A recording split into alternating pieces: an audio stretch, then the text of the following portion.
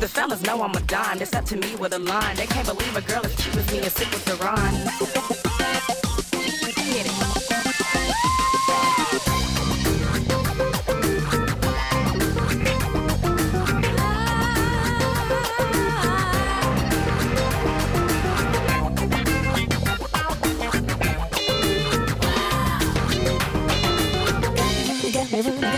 Get it.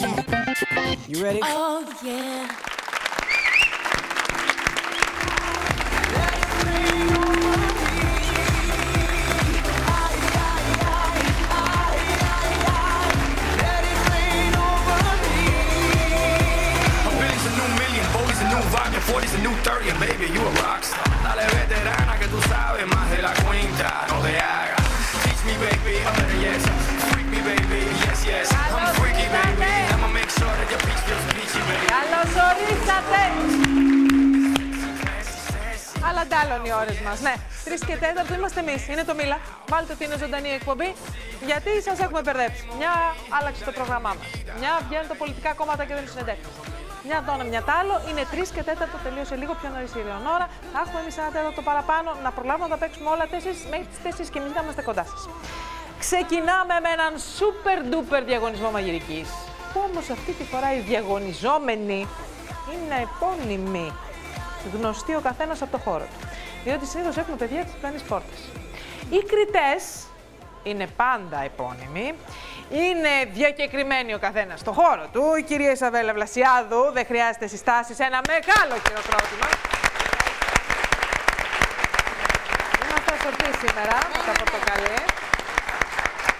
Θέλουμε και κάποιον ο οποίος, βρε παιδί μου, να το έχει μελετήσει το θέμα. Ο Νικόλας ο Σακελαρίου Σεφ είναι σήμερα κοντά μας.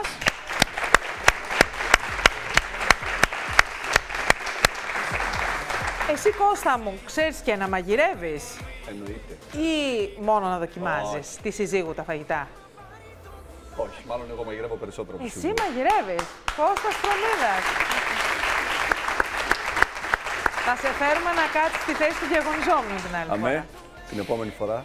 Λοιπόν, Χρυσπάκη, πώς αισθάνεσαι να κάθεσαι στην καρέκλα της διαγωνιζόμενης για ε, σπεσιαλιτέ φαγητού; Αισθάνομαι περίφημα. Σας ευχαριστώ από τώρα για την νίκη μου. Να είστε καλά και το βράδυ σας περιμένω όλοι στο καραμέλα. Να φάμε. Μη, μη στενοχωρηθείς που θα χάσεις σήμερα. Ειλικρινά, έχω μιλήσει με τους κριτές, είναι όλα μιλημένα, να ξέρεις. Οι δύο άντρες όμως είπε. Ισχύει το κουταλάκι, έτσι. ναι, ναι, Ισχύει, έχει εντάξει. κανονιστεί, παιδιά. Γιώργο, άστη να νομίζει. Εντάξει, εγώ θα κάνω χορευτικό άμα είναι. Έτσι, Θα κάνω μπράβο. χορευτικό. Θα με νικήσει. Ο Γιώργος ο Μανίκας, εκτός από έτσι ωραίο παιδί από το χώρο του modeling, ξέρεις και να μαγειρεύεις λοιπόν; Γιατί όχι, ναι. Α, αυτό Παράξενο, είναι- ε. Όχι, ε, παράξενο για την ηλικία σου. Νόμιζα για το χώρο του modeling παράξενο. Παράξενο επειδή ξέρεις τα αγόρια είναι τα αφήνουν στα κορίτσια αυτά, αλλά έχουν αρχίσει και αλλάζουν τα πράγματα. Μα σιγά τώρα τα σιγά. παιδιά κιόλας για να κρατιούνται σε καλή φόρμα πρέπει να ξέρουν να μαγειρεύουν. Δεν μπορούν να τον συνεχώς απ' έξω. Πολύ σωστό. Σωστό. Εγώ πάντως θέλω να πω ότι στο μακιγιάζ έγιναν πολλές προσπάθειες χρηματισμού. Αλλά λόγω κρίσης, επειδή το μπάτζετ ήταν πολύ χαμηλό, αποφάσισα τελικά να είμαι αντικειμενική.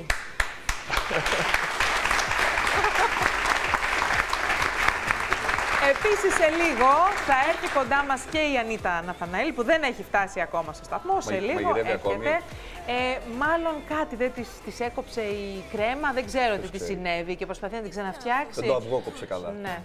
Λοιπόν, μου λένε ότι ετοιμάζει το ριζότο της κουμπάρας. Ποιος ξέρει, θα της λάσπωσε πολύ. Σε λίγο θα Θα μας πει και ποια είναι η είναι κουμπάρα. κοντά μας. Σωστό. θα ξεκινήσουμε όμως από τη Χρήσπα, η οποία θα μας κάνει μια σπιτική πίτσα παρακαλώ.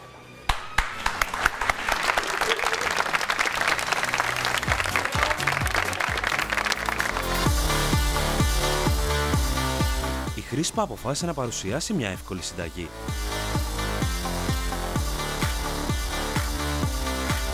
Σπιτική πίτσα με καπνιστό ζαμπόν, μπέικον, ντοματίνια και δύο τυριά. Αυτό το αποτέλεσμα έγινε στους 200 βαθμούς, αέρα πάνω κάτω, γύρω στα 20 λεπτάκια. Καλή μας όρεξη.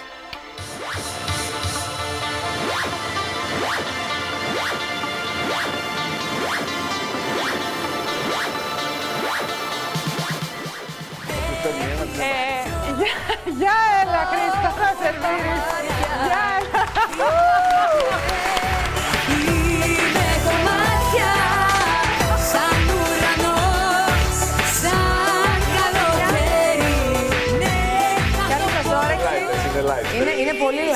πίτσα. Φαίνεται. Είναι πάρα πολύ light. Την έφτιαξα να σπάει και η Τατιάνα. Εγώ θα, ε, θα, θα βαθμολογήσω και στυλ εγώ. Να σου πω τι είναι. Μυρίζει τι ωραία. είναι. Μαργαρίτα, ας πούμε. Όχι, έχει τα πάντα μέσα. Α, έχει τα πάντα.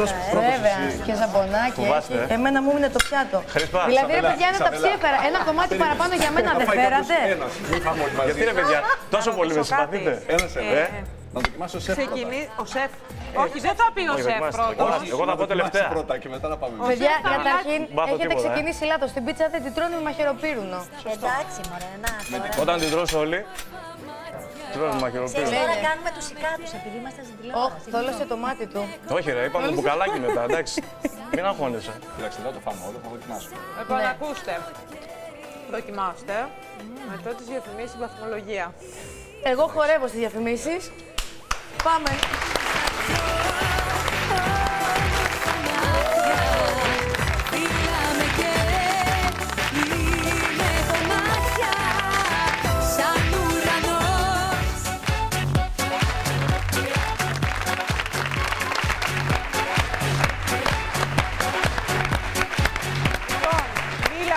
Μου για μαγειρική.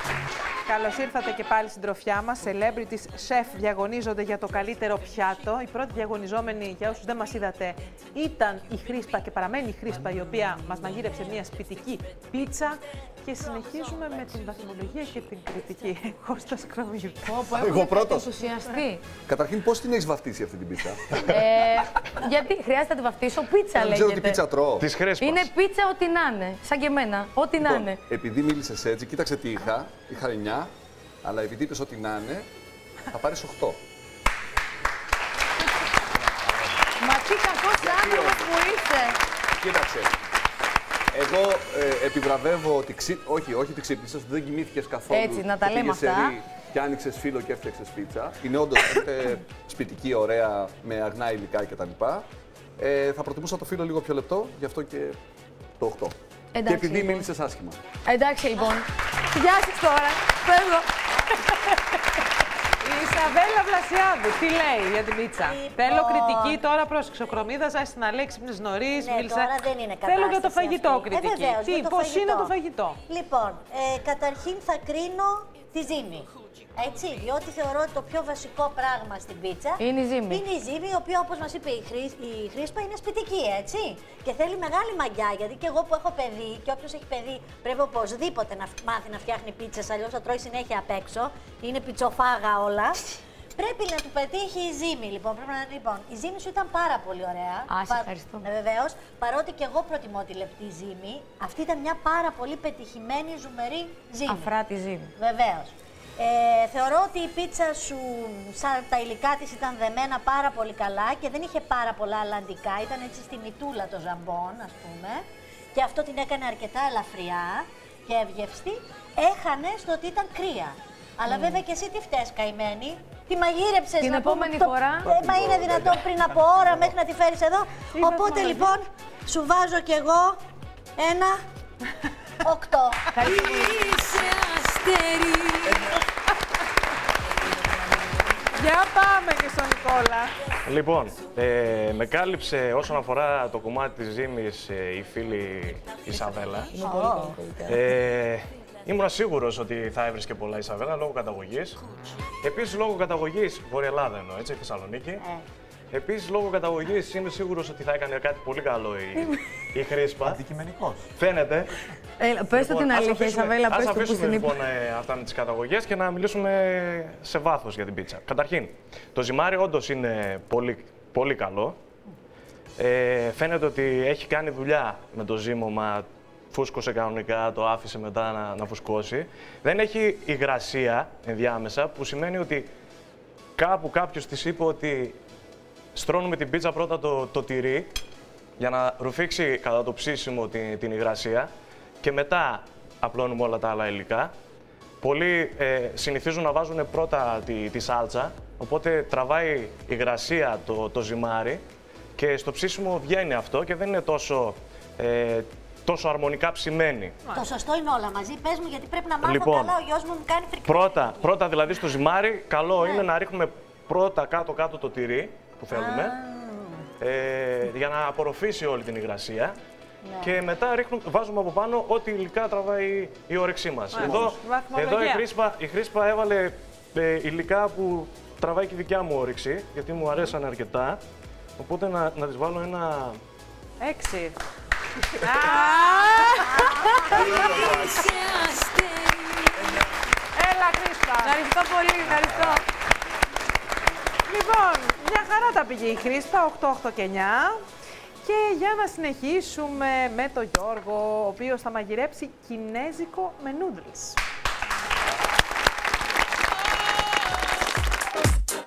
Ο Γιώργος Μανίκας θα μας παρουσιάσει μια δικιά του δημιουργία. Νούντλους με λαχανικά και κοτόπουλο με σως από στρίδια.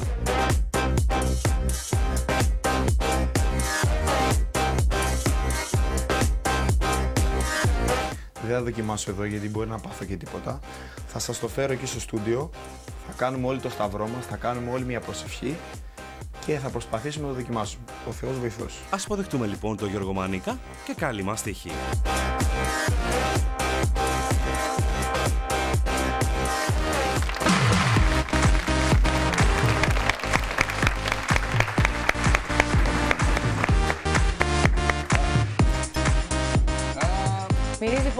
Κατάλαβες τώρα τι έχω πάθει; Μέχρι και εγώ το θέλω να το φάω. Κατάλαβες, ναι. Έτσι είναι. Καταστράφηκα, παιδιά, έχασα. Άμα λερώσω, θα σε λερώσω. Τέσσερα. Βάζω και μπόλικο γιατί σας βλέπω πεινάτε. Ισχύει και για μένα αυτό, έτσι. Ότι μην φέρ το λίγο από εδώ μετά. Σε νοιάζει, ε. όλα θα στα πω. Να ξέρω ότι ανταγωνίζομαι, καταλαβαίνετε. Μπορώ να φτιάξω και πίτσα άμα θέλετε όμως. Μας την είπε. Ξεκίνησες με τα κινέζικα, ε. Μάθε πρώτα τα ελληνικά. Τα- ε, έχω μάθει και από τα ελληνικά. αλλά είναι λίγο πιο πολύ υγιεινά για μας, γι' αυτό το συνηθίζουμε και είναι και της μόδας η αλήθεια είναι. Ωραία. Υποτίθεται ότι είναι και light τα κινέζικα, ε. Υποτίθεται. Άσε λίγο για τη Χρήσπα. Αυτό έτσι, το, το λίγο, αυτό, άστο, άστο. Άστο, να της φέρουμε ένα πυρουνάκι να δοκιμάσουμε. Όπως είσαι, έλα εδώ, έλα εδώ. Έλα εδώ. Άσε να φάνε, έλα εδώ. Όπως βλέπεις εδώ τρώμε πολύ. Ε, Τι θα το φάω. Μην ανησυχείς. Έγινε θεματισμός. Ωραίο. Για πες, Κώστα, πώς φαίνεται. Ξεκίνα. Να πω και ένα, μια μάρκια. Το έχω φτιάξει δύο φορές για να το πετύχω. Α, ναι. Είναι η Πω πρώτη ή πάντως η το δεύτερη. τρώνε με όρεξη, νομίζω με έφαγες. Λοιπόν, όχι είναι πραγματικά, εγώ τρώω κινέζικο. Μ' αρέσει πολύ το κινέζικο φαγητό. Πολύ ωραίο, είναι ελαφρύ, Η Τατιάνα το έχεις τσακίσει εντωμεταξύ. ωραία γεύση. και έφαγα δύο μπουκές, ενώ την πίτσα έφαγα μία. Εμένα μου αρέσει πολύ γιατί βάζω σως τριδιού. Είναι μια σως συγκεκριμένη, την οποία την αρώνεις μέσα και δίνει έτσι μια αίσθηση σαν να είναι αστακομακαρονάδα, κάπως έτσι και μου αρέσει. Έτσι ένα θαλασσινό. Όχι, είναι πραγματικά πολύ ωραία. Ε, Εντάξει, να φάμε. Κάνουμε διακοπή να φάμε και θα πούμε μετά σε λίγο. Ισαβέλα, εσύ τι λες; Ε, μ' άρεσε πολύ. Βέβαια, η καημένη η πίτσα που ήταν κρύα, δηλαδή αυτό κρύο δεν χάνει τόσο πολύ. Έτσι, δεν στρώγεται, τραβιέται πιο εύκολα. Καλή σαν αγοραστό είναι. Ναι, ναι, ναι. Πολύ ωραίο είναι. Και η πιπερίτσα του που έχει μέσα η κόκκινη, τα λαχανικά σε ισορροπία. Όλο είναι πάρα πολύ ωραίο. Να πω και τη βαθμολογία. Α, εγώ δεν Α, βαθμολόγησα. και βαθμολογία. Δεν έδωσε Πες, πες τα. βαθμολογία. 9. Ο Κώστας. Ε, όχι. Ε, όχι. Ε, όχι. Ο Κινέζος. Ισαβέλα. Sorry, 9 Κρίσπα. και Ισαβέλα. Εννιά. Εντάξει, με έχετε κατανακτώσει. Την άλλη εβδομάδα θα φτιάξω σούσι, εντάξει. Λοιπόν, ανοίγεις κινέζικο. εσύ Ε, κάνεις το φαγητό είναι πάρα πολύ ωραίο. Μου κάτσε λίγο μπρόκολο, το οποίο ήθελα λιγότερο ψήσιμο. Παρ' όλα αυτά είναι μια λεπτομέρεια. Ε, είχα σκοπό να σου βάλω 10, αλλά λόγω ότι με χρημάτισε, Ναι. θα του βάλω. Δεν ξέρω αν μπορείτε να κάνετε κοντινό. Πέντε λεπτά Δηλαδή, δηλαδή, από το δείτε χρόνο. αυτό το ξεφτυλισμό, ας πούμε, 5 λεπτά. Ε, μα Τούσα γι' αυτό πέντε δεν λεπτά το χρόνο, χρηματίστηκα πέντε εγώ. λεπτά. Γιατί Α, μάλιστα. Λοιπόν, Τι θα του ε, βάλεις; γι' αυτό δεν θα του βάλω 10, θα του βάλω 9. Μα είδες;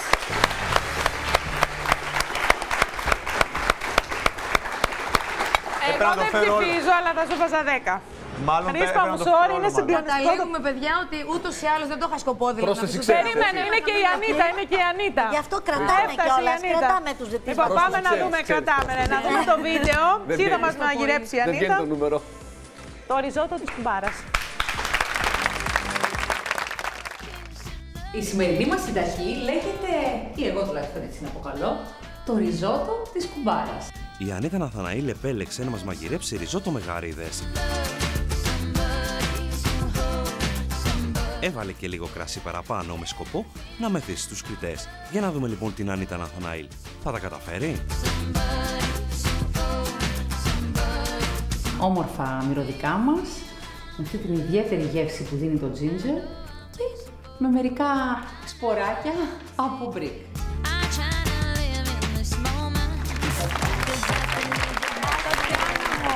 Καλώς ήρθες, Ανίτα μα. Τώρα, αν θα είναι σε όλα, αν θα είναι. Γιατί όπως καταλαβαίνετε. σερβίρετε. Πρέπει Το να μας πιάτο, σερβίρετε. αμέσω θα σας σερβίρω, να σας κάνω τον πρόλογο. Ένα πιάτο το οποίο. Με κουτάλι θα σας σερβίρω. Ναι, ναι, το Ωραία, κουταλάκι είσαστε αυτό που έχεις παραγωγή. εκεί. Πρέπει να φέρω, δεν μου είπατε να φέρω και τα δικά μου σερβίτσια. Ένα ριζότο το οποίο δεν βγαίνει εκείνη τη στιγμή, η γαρίδα που έχει κρυώσει κτλ. Αλλά τέλος πάντων θα σας σερβίρω.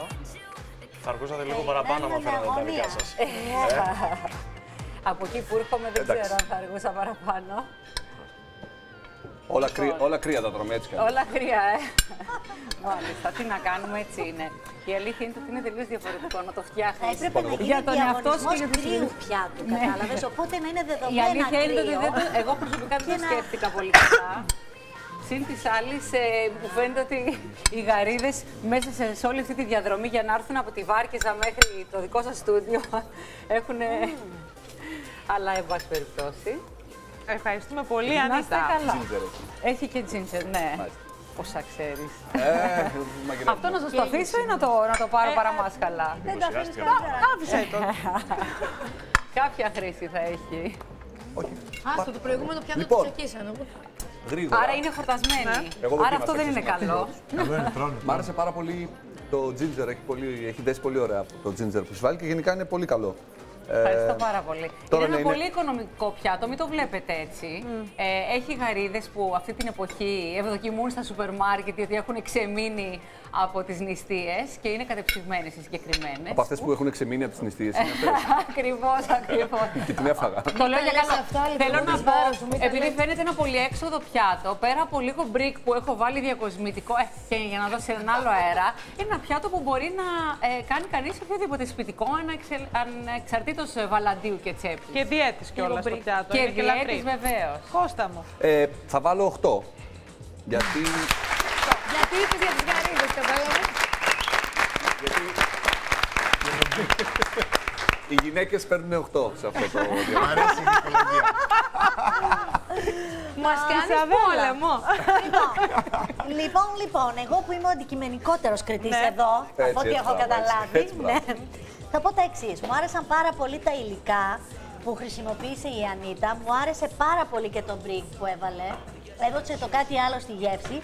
Το μόνο που δεν μου άρεσε ήταν εφόσον αυτό το πιάτο ονομάζεται ριζότο, θα ήθελα το ρύζι Ρι. λίγο πιο λασπωμένο. Όχι Όπως ριζότο, είναι- έκανα λάθος χρήση της λέξης. Είναι ρύζι. Ρύζι Α. με γαρίδες και ginger. Α, το οκ. ριζότο το είπα λάθος. ίσως γιατί έγινε ριζότο στην πορεία μέχρι εδώ. Εγώ θα το ήθελα ακόμα πιο αλντέντε. Και όσο το βλέπα στη διαδρομή ενώ οδηγούσα, έλεγα κάτσε, κρατήσου λίγο, κρατήσου λίγο. Φτάνουμε, φτάνουμε. Εντάξει, λοιπόν, τότε θα αλλάξω τη βαθμολογία μου. Θα σου έβαζα ένα 8 που το είχα έτοιμο γιατί ήταν υποτίθεται ριζότο. Οπότε υπήρχε. μ. Αλλά εφόσον έγινε λάθος, βάζω ένα υπέροχο γεια.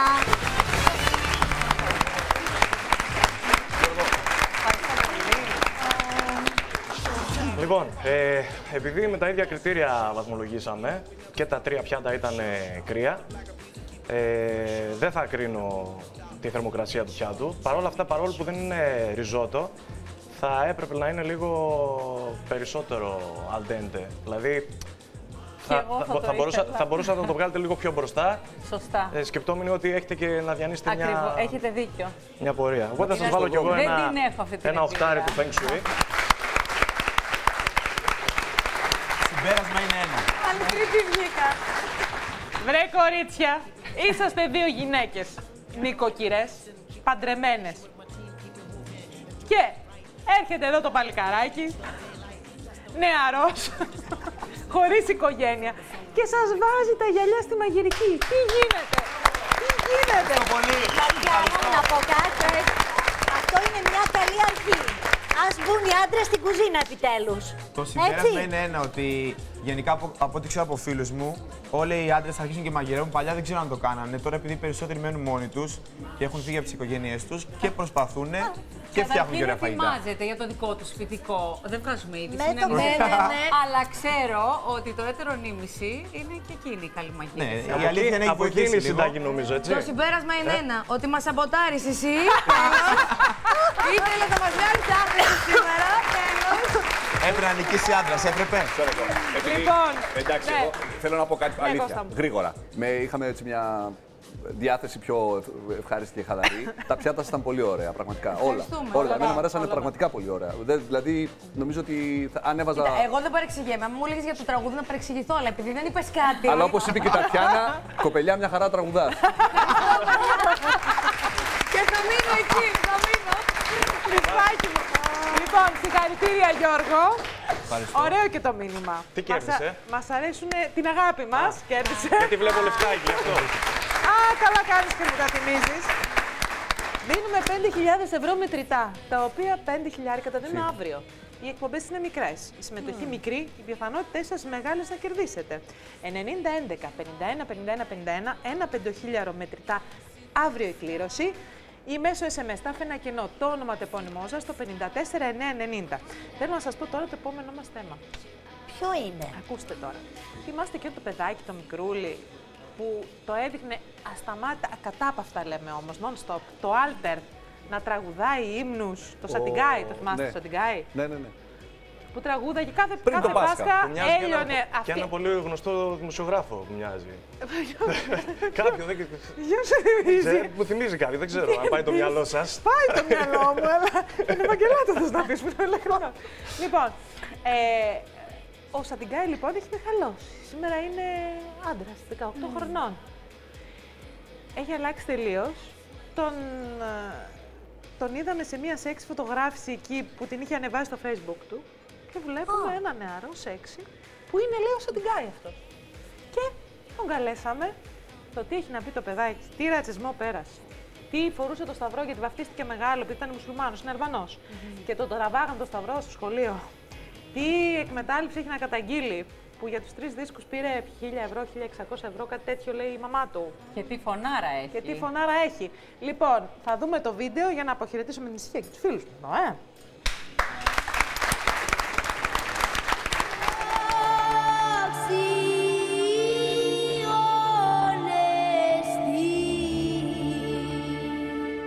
Ήταν 10 χρονών ο Χρήστος Σαντιγκάη όταν έγινε γνωστός μέσα από τα χριστουγεννιάτικα κάλαντα και τους ύμνους της Μεγάλης Εβδομάδας που έψελνε. Παιδί θαύμα τον θεωρούσαν όλοι τότε. Θυμάμαι όταν μου είχαν πει για τους εκκλησιαστικούς ύμνους, στην αρχή είχα φοβηθεί γιατί δεν ήξερα ψαλμούς και όλα αυτά. Μου είχαν πει ότι ε, όταν, δηλαδή με είχαν πάρει στην εταιρεία και μου είχαν εξηγήσει πριν μπούμε για, το, για την ηχογράφηση, μου είχαν εξηγήσει τη ζωή του Χριστού και όλα αυτά για να το πάρω λίγο, ναι. Για να μπορώ να το καταλάβω, ναι, να μπω στο πνεύμα. Έχουν περάσει 7 χρόνια από τότε και σήμερα ο Χρήστος μιλά για πρώτη φορά με πικρή γεύση για τα όσα έζησε κυνηγώντας το όνειρό του από μικρός να γίνει τραγουδιστής. Όσο μεγάλωνα, υπήρχαν και σε μένα προσωπικά, υπήρχε ρατσισμός. Νόμιζαν ότι είμαι μουσουλμάνος και ψέλνω... Ναι, και όλα αυτά. Ε, υπήρχε, εντάξει, και με τη χώρα σίγουρα. Οι γονείς του Χρήστου έφυγαν από την Αλβανία και ήρθαν στην Ελλάδα ως οικονομικοί μετανάστες με την ελπίδα για μια καλύτερη ζωή.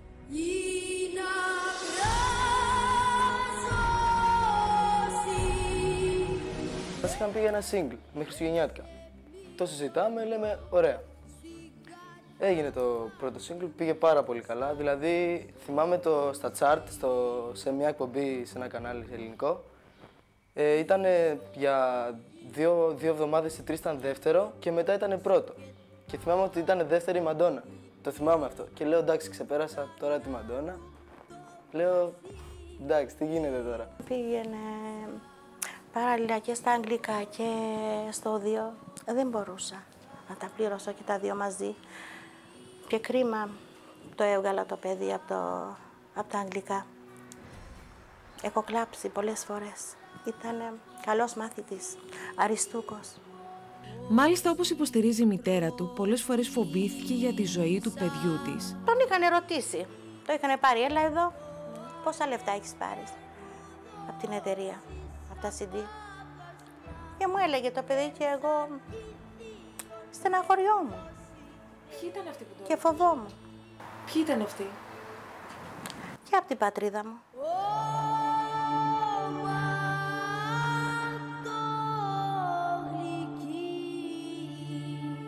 Επώδυνη στιγμή ήταν για τον Χρήστο, όπως λέει, η επίθεση που δέχθηκε στο μουσικό σχολείο που πήγαινε από μεγαλύτερό του μαθητή. Τότε ήμουν Δευτέρα Γυμνασίου, θυμάμαι και μόλις είχα βαφτιστεί. Και. ναι, χριστιανός, Ορθόδοξος. Και μ' άρεσε να φοράω το Σταύρο σχολείο. Εντάξει, για να δείξω, εντάξει, βαφτίστηκα και όλα αυτά. Και έρχεται ένα παιδί και μου λέει: Δεν σου αξίζει αυτό, και μου το τραβάει. Και εγώ δεν μ' άρεσε όλο αυτό και πήγα στο διευθυντή και του λέω: Ένα παιδί μου τράβηξε το Σταυρό και επειδή είσαι από την Αλβανία και τέτοια, μου τράβηξε το Σταυρό. Μαθητής στην τρίτη ηλικίου είναι σήμερα ο Χρήστος Αντιγκάη.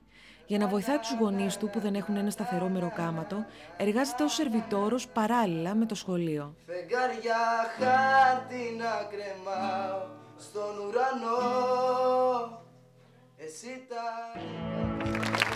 Αντιγκάη!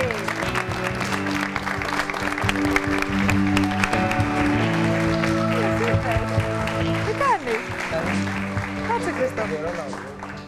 Κάτσε. Πόσο χρονών είσαι σήμερα; 18. και πόσο ήσουν όταν τραγουδούσες τότε; Ε, σχεδόν 12, 12 χρονών. δο- από 11 και μετά περίπου. Έχεις αλλάξει πάρα πολύ από τότε ε, και έχεις πολλά να μας πεις μετά τις διαφημίσεις.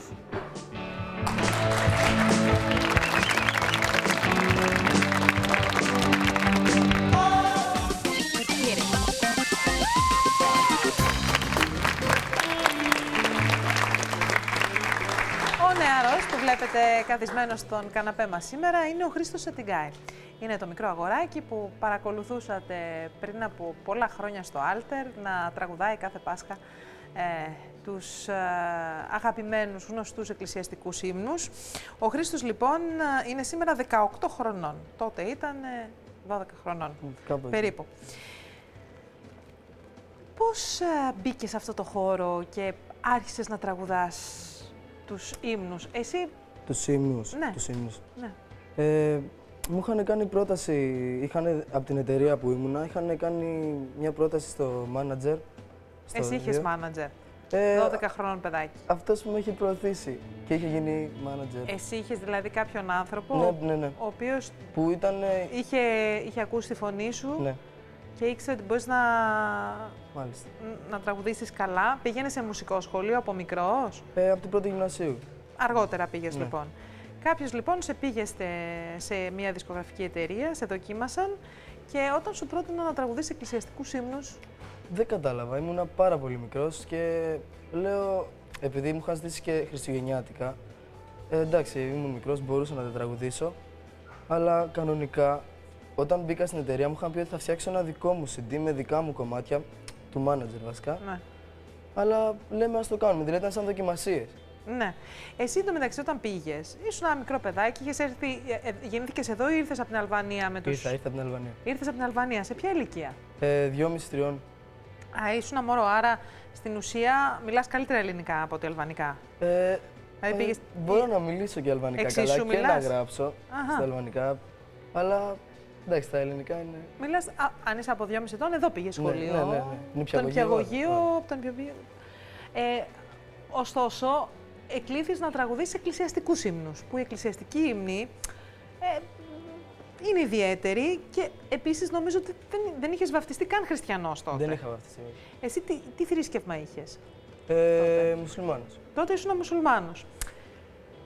Πώς μπήκε σε αυτό το κλίμα, πώς σου φάνηκε όλο αυτό; Είχες ιδέα τι τραγουδάγες; Ε, πριν αρχίσουμε την ηχογράφηση, πριν μπούμε στο στούντιο, είχαν κάτσει κάποια άτομα από την εταιρεία και μου είχαν περιγράψει ένα μάθημα θρησκευτικών βασικά, δηλαδή τη ζωή του Χριστού. Στο σχολείο δεν είχες κάνει θρησκευτικά; Είχα κάνει, είχα κάνει.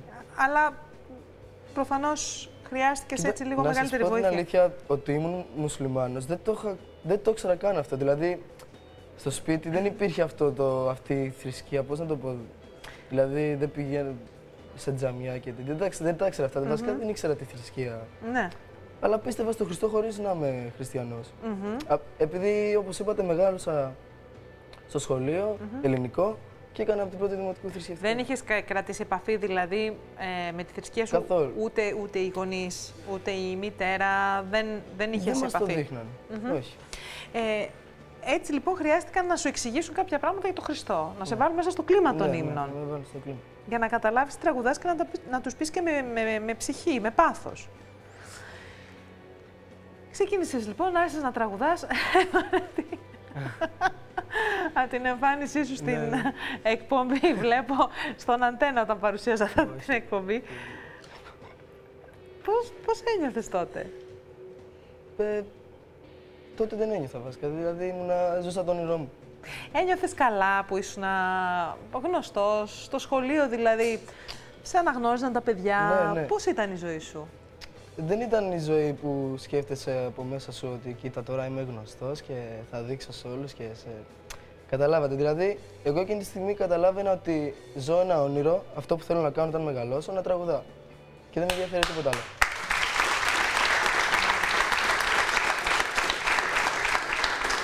Τα παιδιά στο σχολείο, ε, τι σου έλεγαν για αυτή σου τη δραστηριότητα; Εσύ έπαιζες τότε ασταμάτητα στο Alter. Ναι. Σε Ε, κάθε break του Alter έβγαινε ο Κάποιοι φίλοι μικρός με Χρήστος πειράζανε, Σαντιγκάη. Κάποιοι φίλοι με πειράζανε, μου λέγανε ε, εκεί που βλέπουμε Pokemon.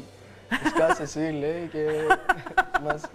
Εκεί που βλέπουμε Pokemon, Ναι, μας τέτοιο. το διακόψεις Μας και το βγαίνεις διακόψεις. εσύ. Αλλά εντάξει, αυτό- οι φίλοι μου δεν με πειράζανε. Ναι. Ε, στο δημοτικό, επειδή από το δημοτικό άρχισα, από την πέμπτη νομίζω, πέμπτη δημοτικού, Ναι.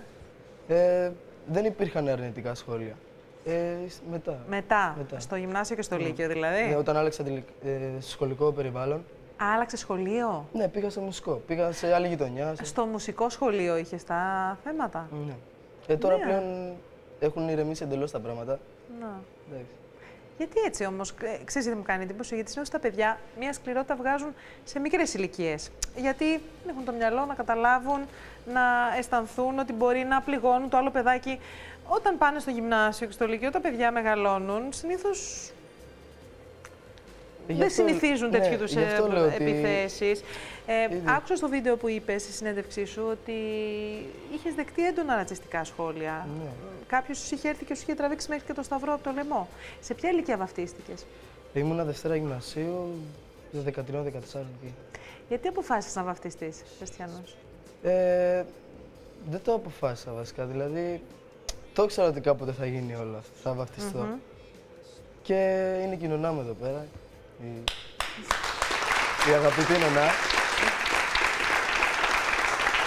Η κυρία Κατερίνα Ευθυμιοπούλου. Ναι, που την αγαπώ πάρα πολύ. Με έχει στηρίξει πάρα πολύ. Μμμ. Σε δύσκολες στιγμές, έχω να πω. Και θυ- θυμάμαι ότι η μάνα μου είχε πάει μια μέρα λαϊκή και την είχε γνω... την είχε... δηλα- γνωριζόμασταν με την κυρία Κατερίνα, αλλά της είχε πει η κυρία Κατερίνα ότι θέλω να βαφτίσω το παιδί σου. Και ήταν τόσο τη στιγμής, ας πούμε αυτό. Και μ- ήρθανε μια μέρα, μου είπαν αυτό και αυτό. Με ζητήσανε. Πώς ένιωσες κατά, κατά τη διαδικασία αυτή. Της βάφτισα. Ναι. Ήθελες να το κάνεις ή Ναι, επειδή ναι. στο είπε η μαμά όχι, σου. όχι, όχι, όχι, ήθελα να το Ήταν κάτι. Γιατί ήσουν. Εντάξει, και ένα παιδάκι σε αυτήν την ηλικία μπορεί να Ε, μην με αυτά- σκέφτεται πάρα πολύ αυτά με, τα. αυ- με αυτά που μου είχα πει στην εταιρεία με το Σκεφτικά. Χριστό και όλα αυτά. Είχε, το, ήταν κάτι που ήθελες ναι, και εσύ να κάνεις. Ήταν, ήταν όλα σε μια ευθεία. Δηλαδή τραγούδισα αυτά και κατευθείαν βαφτίστηκα και. Τα σχόλια αυτά πώς τα αντιμετώπισες ε, στο σχολείο; Πες μου ένα περιστατικό που σε έχει έτσι, Ε, σου έχει αποτυπωθεί. Θυμάμαι τα περισσότερα σκηνικά ήταν πρώτη γυμνασίου που λέγανε «Τα, τώρα έχει έρθει ο στάρ του σχολείου και το παίζει τώρα που σιγά μην έχει τέτοια φωνή και σίγουρα έχει πέσει η επεξεργασία πάνω στη φωνή και τέτοια σχόλια δηλαδή. Αλλά δεν δεν με, δεν με ενδιαφέρε βασικά. Ναι. Εντάξει, άμα δεν υπήρχαν κι αυτοί, πάντα θα υπάρχει κάποιος που να σχολιάζει αρνητικά έτσι κι αλλιώς. Ναι. Ε, γιατί έλεγες στο βίντεο ότι ήταν κάτι το οποίο σε είχε πληγώσει και, σ- και ήταν κάτι το οποίο Ε, ναι, το επειδή θυμάσαι. εγώ εκείνη τη στιγμή πήγα σχολείο για να βρω καινούριους φίλους και έτσι, έτσι όπω πηγαίναν τα πράγματα, λέω δεν θα βρω κανένα. Θα είμαι μόνος μου και θα Μμμ. με νομίζουν όλοι ότι είμαι κάποιος. Άκουγα επίσης που έλεγες και εσύ και η μητέρα σου ότι κάποιοι νόμιζαν ότι σου έβγαλες χρήματα εκείνη την περίοδο. Για πες μου γι' αυτό. Ε, είχε γίνει ένα θέμα πο- πολύ μεγάλο. Δηλαδή και στην πατρίδα μου ειδικά, που δεν ξέρουν καν τι γίνεται εδώ πέρα. Ε, λέγανε ο γιος σου έχει πάρει πολλά χρήματα, έχουμε μάθει, έτσι. Πέσαν πάνω συγγενείς να οικονομήσουν. Ε, Ε, να το πω έτσι λίγο λαϊκά. Ναι. Σου λέει, έβγαλε ο μπαγάς σας Έβγαλε λεφτά, χρηματάκια. ξαδέλφια, θείοι, θείες, Ναι, αυτά, ναι. συγγενείς, έλα να φάμε κι εμείς. Ναι. Αλλά έπεσε πολύ κουτσομπολί πάνω στο το θέμα. Δηλαδή, μου με σταματάγαν συνέχεια στον δρόμο. Πες και πόσα χωρίς- έβγαλες. Χωρίς, χωρίς να τους ξέρω. Εσύ έβγαλες χρήματα, έζησες καλύτερα τη ζωή σου με αυτούς τους δίσκους που έκανες. Εκείνη τη στιγμή δεν με ενδιαφέρει βασικά. Δεν ήθελα να βγάλω χρήματα. Εγώ απλά ζω στα τον όνειρο με αυτό. Κοίτα, επειδή πολλά παιδιά έτσι μπαίνουν στον χώρο του showbiz, βγάζουν κάποια χρήματα τα οποία στη συνέχεια τα χρησιμοποιούν για τις σπουδές Ναι. τους, για κάτι τέλος πάντων. Άκουσα ότι χρειάστηκε να σταματήσει και τα αγγλικά σου για να. Σταμάτησες τα αγγλικά. Σε... Τα αγγλικά είναι βασική γνώση, δηλαδή. ξέρω. Σε ποια ηλικία τα σταμάτησες, Ήμουνα D-class. D, δηλαδή Σε ποια ηλικία, πώς χρονών Ε, ήσουν περίπου. 15, 15 χρονών, το λόρ δεν το έχεις πάρει δηλαδή; Όχι. Που είναι α- από τα βασικά απαραίτητα διπλώματα πια στη σύγχρονη εποχή. Τα, τα σταμάτησες δεν είχες χρήματα; Ε, δεν μπορούσε άλλο ο πατέρας μου, ξέρω γιατί και η μάνα μου πέρασε ένα πρόβλημα υγείας και δούλευε μόνο ο πατέρας μου. Και δεν υπήρχε οικονομική ευκαιρία. Κυρία Βιόλα μας, καλησπέρα. Τι κάνετε; Δεν μπόρεσε να βγάλει ούτε τα χρήματα για τις σπουδές του. Δεν άκουγα. Δεν μπόρεσε να βγάλει ούτε τα χρήματα για, για τα αγγλικά του και τις σπουδές του. μικρός. Όχι. Δυστυχώς. Τι ήτανε, δωρεάν, το κάνατε προσφορά, προσφορά τους δίσκους; Όχι, δεν ήταν δωρεάν. Τι ήταν, Εκμετάλλευση. Εκμετάλλευση. Ναι. Το εκμεταλλεύτηκαν το παιδί. Ξέρετε τι σκέφτομαι όμως γι' αυτό. Στον πρώτο δίσκο, ας πούμε, το τον εκμεταλλεύτηκαν. Στο δεύτερο, εσείς ξέρατε τι δίνουν. Γιατί ξαναπήγατε; Ε, ήταν τέσσερα χρόνια αυτό. Ναι, αυτό θέλω να πω ότι επειδή για α- εγώ... Α, ήταν συμβόλαιο για τέσσερα χρόνια. Ναι. Άρα είσαστε υποχρεωμένοι να Ναι, ξαναπάτε. ναι, Αχα. Και δεν, δια... δεν διαβάσατε προφανώς εσείς τους όρους του συμβολέου να ξέρετε; Ε, δεν ήξερα, δεν ήξερα καλά τι Πόσα έλεγε χρήματα μέσα. έβγαλε για κάθε δίσκο δηλαδή; Αν αυτό δεν είναι αδιάκριτο. Τι να πω τώρα, θα γελάσουν όλοι. Τι, Από τα τρία CD, ναι. γύρω στις 1.700 ευρώ. Και, τα... και στους τρεις δίσκους και οι Ναι, τρεις δίσκοι μαζί; Ναι, ναι. Γελάστε. Πολλά.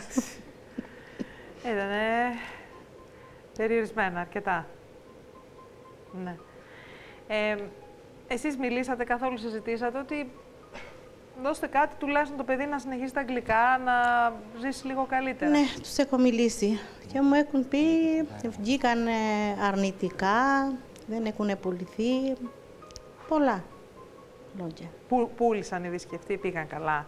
Ε, ναι, από ό,τι έχω μάθει σε περιοδικά και σε... σε- δηλαδή, ήταν, το είπα και στη συνέντευξη. Ναι. Ήταν μια εκπομπή, σ- δεν, δεν θέλω να πω τώρα, τέλος πάντων σε ένα κανάλι, Μμ. που έδειχνε τα chart show. Δηλαδή, έδειχνε πόσο, ε, πόσο πουλήθηκε ο δίσκος όλα αυτά. Και θυμάμαι, θα έβγαινα σε μια εκπομπή, τώρα να το πω, Ναι. στο Πολίτη Κυριακή θα έβγαινα. Ναι. Και ήμουν με, με τον Αρναούτογλου. με τον Αρναούτογλου. Ναι. Και ήμουν στο καμαρίνι και θα έβγαινα και εκείνη τη στιγμή έδειχνε το chart show Ναι. και είχα βγει πρώτος για, τα, για μια εβδομάδα, δηλαδή τα Χριστούγεννα είχα, βγει, είχα πιάσει πρώτη θέση. Και θυμάμαι ότι πα- ήταν δεύτερη η Μαντόνα και ο Πάρης, δεν θυμάμαι. Και λέω, Πρώτος ο- ο Σατιγκάη, δεύτερη Μαντόνα. Στην Ελλάδα. Τέλειο. Άρα πήγαν καλά οι δίσκοι. Ναι, Άρα πήγαν πούλησαν. «Παιδί, Μάλιστα. τώρα δεν ξέρω γιατί το έκαναν αυτό. Ε, εγώ θέλω να πω ότι...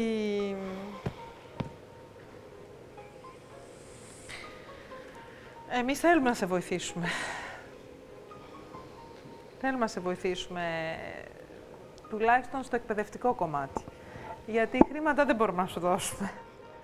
Όμως μπορούμε να σε βοηθήσουμε τουλάχιστον να συνεχίσεις τις σπουδές σου. Θα κάνουμε κάτι γι' αυτό. Εργάζεσαι; Ε, τώρα τελείωσα. Ε, δούλευα στο. Τώρα, τώρα να πω πάλι όνομα. Στο Ναι. κολονάκι δούλευα στο καμπαρέτ. Δούλευε σε κάποιο... Ναι, σε... Τραγουδούσες; Όχι, σερβιτόρος. Σερβιτόρος;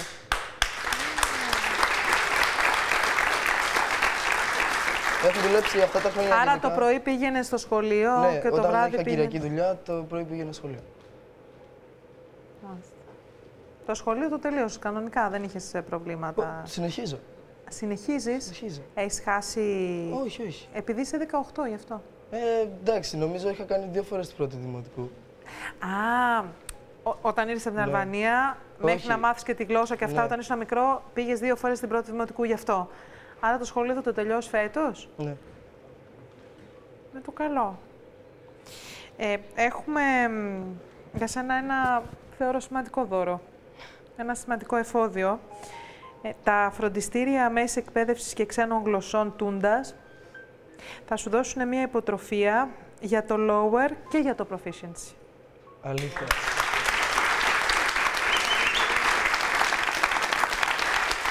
Και έτσι, Ευχαριστώ πάρα πολύ. Σας ευχαριστώ. Πραγματικά. αυτό που δεν μπόρεσες να κάνεις με τους δίσκους ή δεν μπόρεσε η Έρμη η μάνα που δουλεύει τόσα χρόνια, τουλάχιστον θα μας βοηθήσουν τα εκπαιδευτήρια ξένων γλωσσών της Τούντας να το κάνεις πραγματικότητα. Γιατί είναι πολύ σημαντικό εφόδιο τα αγγλικά και το έχεις καημό που δεν κατάφερες να συνεχίσεις. Ε, ναι, ναι, χωρίς τα αγγλικά δεν πας στον να. Πλέον. Τι μου λες, βρε Χρήστο μου. Τώρα, τόσα χρόνια μετά, τότε ένιωθες ότι ζούσες τον όνειρό σου. Ένα μικρό παιδί θαύμα. Τώρα που αντιμετωπίζεις όλες αυτές τις δυσκολίες της ζωής, δουλεύεις σερβιτόρος, ούτε τα αγγλικά σου δεν μπορείς να τελειώσεις. Τα πράγματα είναι πολύ διαφορετικά. Πώς αισθάνεσαι; Ε, δεν αισθάνομαι ότι έχω πέσει. Δεν θέλω να το αισθανθώ, δεν θέλω να το αισθανθώ ποτέ αυτό. Γιατί σίγουρα δεν έχω πέσει και απλά βοηθάω την οικογένειά μου. Μπαίνω σιγά σιγά στα, στις δυσκολίες που θα μου φέρει η ζωή έπειτα. Ε, Άμα μάθω από τώρα να ξέρω να χειρίζομαι καλά τη ζωή, πιστεύω πως θα τα πάω καλά. Αλλά θα ήθελα πάντα να μου δοθεί μια ευκαιρία πάλι στο τραγούδι. Στο χέρι σου είναι. Θα σου δοθεί. Άμα το παλέψεις και το προσπαθήσεις πολύ, θα το κάνεις το όνειρό σου πραγματικότητα. Οντισιόν έχεις δώσει, Όχι, δεν, δεν προλαβαίνω. Τώρα με τα μαθήματα και αυτά. μαθήματα και δουλειά. Μαθήματα και δουλειά. Όταν τελειώσεις το σχολείο όμως του χρόνου, αν χτυπήσεις πολλές πόρτες και ταξίζεις, θα τα καταφέρεις. Μακάρι. Καλή επιτυχία σου ευχόμαστε.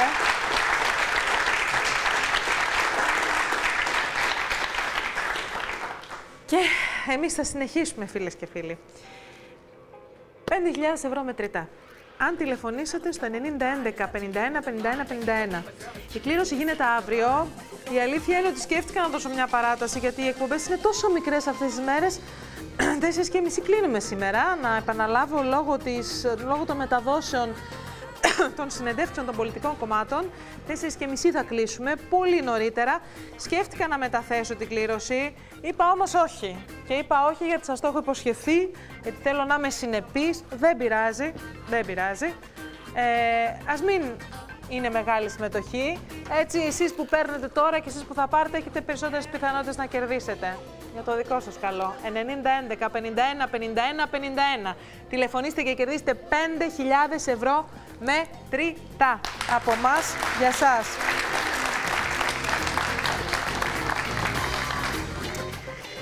Λοιπόν, τώρα θα μιλήσουμε για αλήθειες και μύθους για τη ρινοπλαστική. Έχουμε κοντά μας τον χειρουργό Οριλά, α, τον κύριο Θανάσιο Σκούρα. Ο κύριος α, Σκούρας είναι α, διδάκτορ του Πανεπιστημίου Αθηνών και πρόεδρος της Ελληνικής Εταιρείας Λειτουργικής Ρινοπλαστικής. Καλησπέρα σας κύριε Στεφανίδου, ευχαριστώ για την πρόσκληση. Κύριε Θα προσπαθήσω Σκούρα, να φανώ χρήσιμο στα ερωτήματα που- που φαντάζομαι θα είναι και των τηλεθεατών σας. κύριε Σκούρα, η ρινοπλαστική είναι η πιο δημοφιλής, μία από τις πιο δημοφιλείς επεμβάσεις αισθητικής στην Ελλάδα. Γιατί οι Ελληνίδες την έχουν τη μητούλα τους. Οι Ελληνίδες έχουν έντονα χαρακτηριστικά. Έτσι λοιπόν, η ρινοπλαστική είναι πολύ δημοφιλής.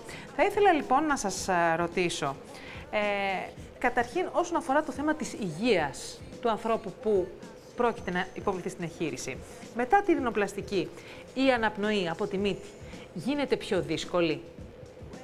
Εκείνο που ήθελα να τονίσω πέρα από αυτό που αναφέρατε και είναι πολύ σωστό, γιατί είναι η πιο συχνή των ε, επεμβάσεων που γίνονται, επεμβάσεων ομορφιάς αν το θέλετε έτσι, που γίνονται σήμερα σε όλο τον κόσμο.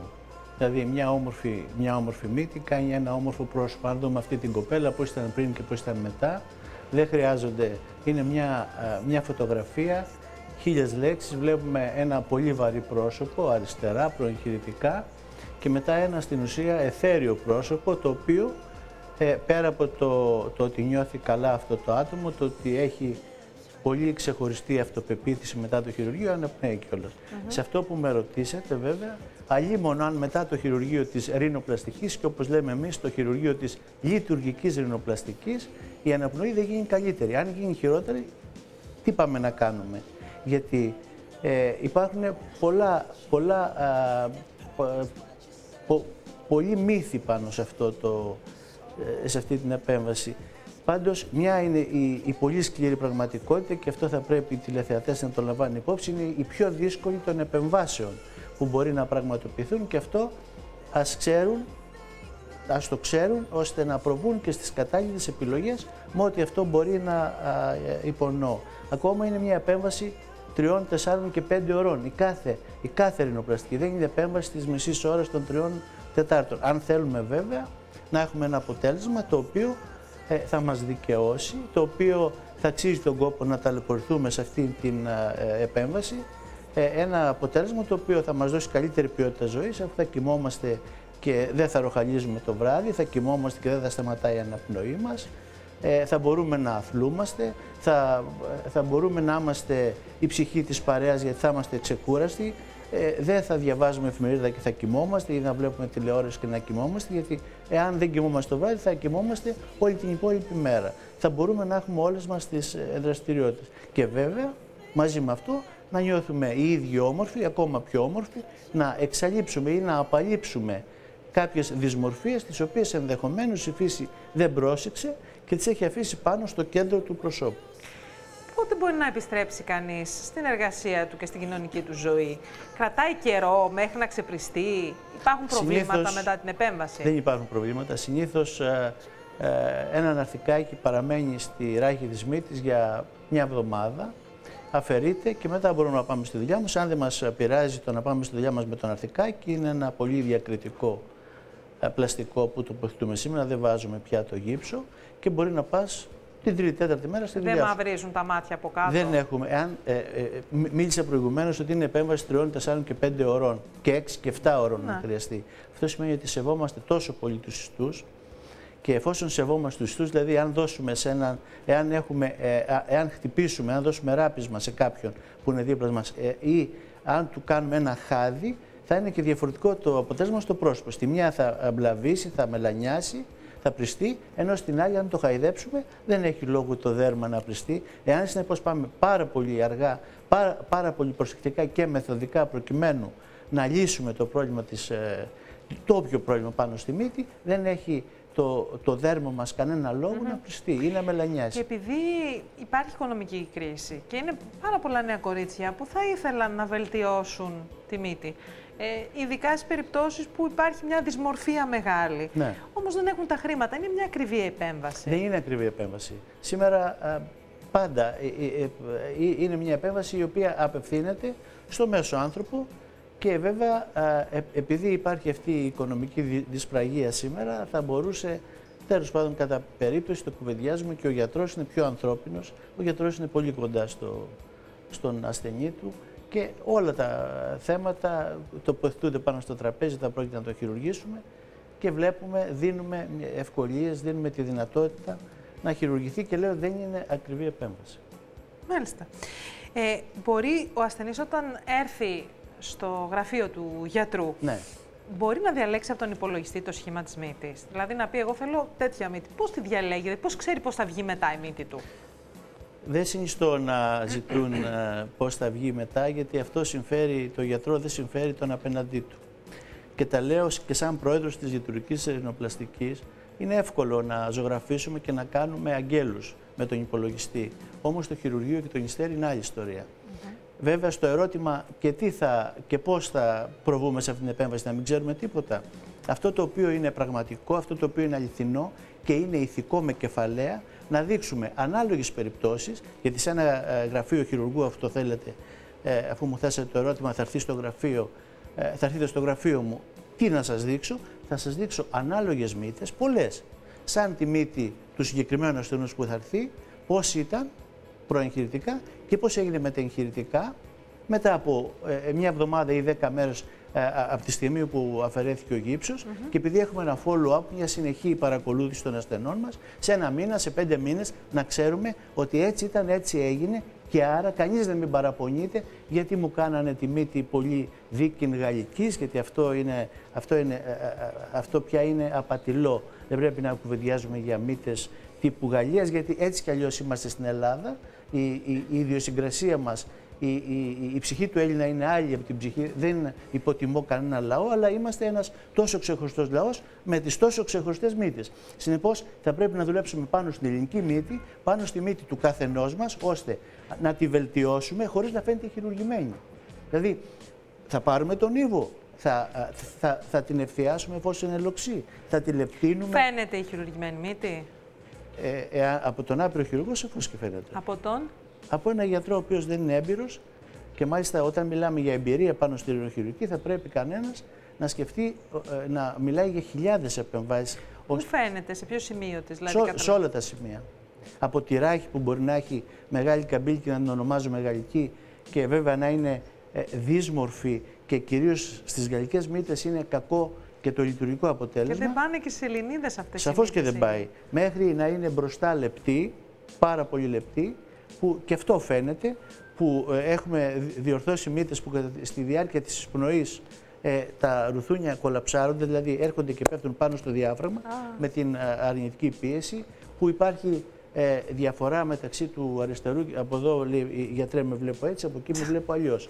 Ε, Σαφώς αυτό για να αποφευχθεί θα πρέπει να υπάρχει αυτή η τεράστια εμπειρία ενός γιατρού που δεν θα πάει ο ασθενής βέβαια να πει κάνω μου λίγο μύτη, λίγο χείλη, λίγο στήθος, λίγο κοιλιά. Γιατί ε, αυτά που σας λέω είναι Έρχονται στο γραφείο και λένε Κάθε γιατρέ μέρα. πάρε μου λίγο από εδώ, λίγο από εκεί, εδώ, κόψε από λίγο εκεί, κάνε μύτη, λίγο και λίγο. βάλε και λίγο Ναι, χείλη και έκανα- είμαι μια έκανα- χαρά. Έκανα και λίγο διάφραγμα, έκανα και λίγο μύτη, έκανα και λίγο στήθος. Εξαιρετικό. Αυτό, αυτό, αυτό για, για, για όσους γνωρίζουν οδηγεί σε, σε, κάποια, αποτε, σε κάποια αποτελέσματα σίγουρα αποτυχημένα. Γιατρέ, σας ευχαριστούμε πάρα πολύ. Τόσο γρήγορο ήταν. Χαίρομαι που περάσατε καλά. Χαίρομαι. Και εγώ ευχαριστώ και πιστεύω να δώσαμε πληροφορίες χρήσιμες στους ε, τηλεθεατές. Χαίρομαι που που ξέρω ότι περάσατε είναι καλά. πολλοί. Λοιπόν, να πούμε ότι σήμερα η εκπομπή είναι πάρα πολύ σύντομη, διότι ακολουθεί η συνέντευξη τύπου της κυρίας α, Λούκας Κατσέλη. Ε, θα σας πω και τα 5.000 ευρώ μετρητά 90, 11, 51, 51, 51 το διαγωνισμό μας. Να μην το ξεχνάτε, αύριο γίνεται η κλήρωση.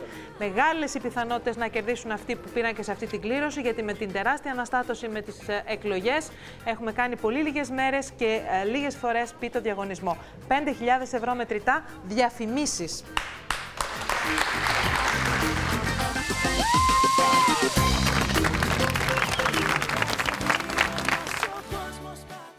Συγγωγό Μαστροκώστα, η οποία υποβλήθηκε σε χειρουργική επέμβαση αφαίρεσης ε, χολής, ε, βγήκε από το νοσοκομείο πριν από λίγη ώρα. Πάμε να δούμε ένα βίντεο και σε λίγο θα σας δώσουμε περισσότερες πληροφορίες.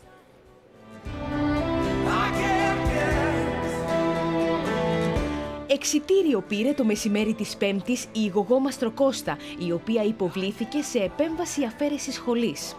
Η όμορφη Γογό επρόκειτο να κάνει την συγκεκριμένη επέμβαση πριν το Πάσχα, όμως τελικά η εγχείρηση πραγματοποιήθηκε και μάλιστα με απόλυτη επιτυχία με την μέθοδο της λαφαροσκόπησης το απόγευμα της Τετάρτης. Η Γογό έκανε μια προγραμματισμένη επέμβαση ε, στη χολή, αφαίρεση χολής, η οποία έπρεπε να γίνει και όπως ξέρετε με την υγεία μας δεν παίζουμε, όταν έγινε.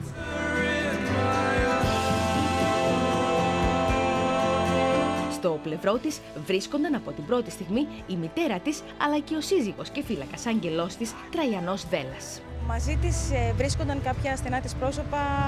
Ε, βέβαια, είναι η μητέρα της, είναι ο σύζυγός της, συνέχεια μαζί της και πάρα πολλοί φίλοι οι οποίοι την επισκέπτονται σε όλη τη διάρκεια της μέρας και είναι δίπλα της.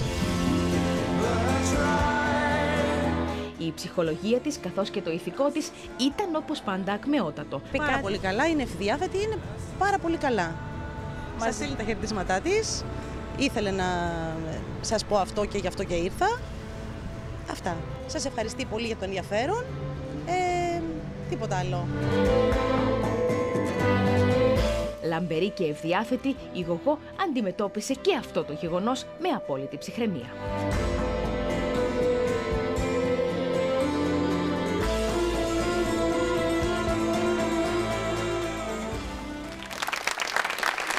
Μανιάνα Καλογεράκη. Καλό σας απόγευμα. Ε, μιλήσαμε λοιπόν με ανθρώπους από το στενό οικογενειακό και το φιλικό περιβάλλον της Γογός ε, Τατιάνα αργά χθες το βράδυ, στο ιδιωτικό θεραπευτήριο στο οποίο νοσηλεύτηκε η όμορφη Γογό Μαστροκώστα. Ε, πρόκειτο για προγραμματισμένη επέμβαση αφαίρεση σχολής. Η επέμβαση, όπως είπαμε και στο βίντεο, πραγματοποιήθηκε με απόλυτη επιτυχία.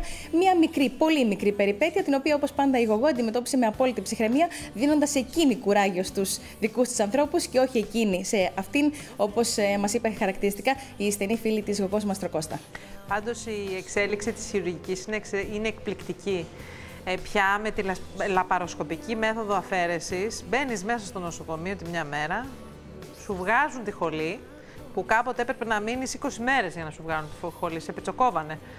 Και βγαίνεις την άλλη μέρα και δεν νιώθεις και τίποτα, ούτε πονάς ούτε τίποτα. Θέλω να σου πω δε ότι ο Νίκος, ο άντρας μου, είχε βγάλει τη χολή του πριν από μια δεκαετία έτσι, όταν είχε πρωτοέρθει η μέθοδος και την άλλη μέρα είχε τρέξει και στη φόρμουλα ο τρελό άντρα μου. Είχε τρέξει τη φόρμουλα την επομένη της επέμβασης. Λοιπόν, Μανιάνα, σε ευχαριστούμε καλά. πάρα πολύ. Να είστε καλά. Θέλω να ευχαριστήσω θερμότατα και τα η έξινη Πειραιά, τα Nail Academy Νύχη Νύχη Συντάγματος και την Eva Beauty Πειραιά που είναι σήμερα κοντά μας. Τα ωραία μας τα παιδιά. Ευχαριστούμε θερμότατα. Καλό απόγευμα. Γεια σας. Δεν μπορώ να σε βλέπω τώρα πια